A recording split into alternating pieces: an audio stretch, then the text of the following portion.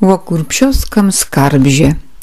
Kiedy Pan Bóg stworzył świat i po raz pierwszy dokonywał jego przeglądu, z przestworzy spostrzegł, że nad Syberią zgrabziały mu ręce.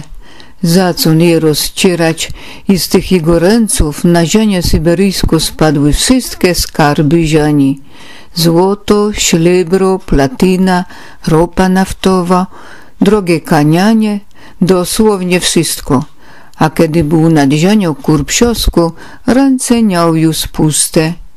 I zapłakał tedy Pan Bóg nad to ziemią i odpowiedzieli płacom jej osiedlańcy. Ze łzów Pana Boga poniesionych wiatrom powstały najpiękniejsze na świecie jeziora mazurskie, a z tych jeziorów wypłynęło siedem rzeków kurpsiowskich, najczystszych na świecie. Ze łzów płacących nad rzekami ludzi powstawały bursztyny, które niesione siedmioma rzekami, później Narzio, Buga, Myzisło, pokryły całe dno Morza Bałtyckiego.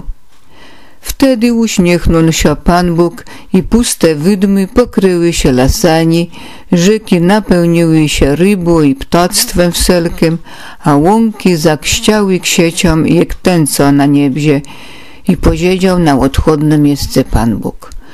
Oprócz bursztynu ostazia woma pół mojego serca. Jest to skarb, którego woma nigdy nie zabraknie i którego nikt wam nie zabierze i którym może obdzielać cały świat.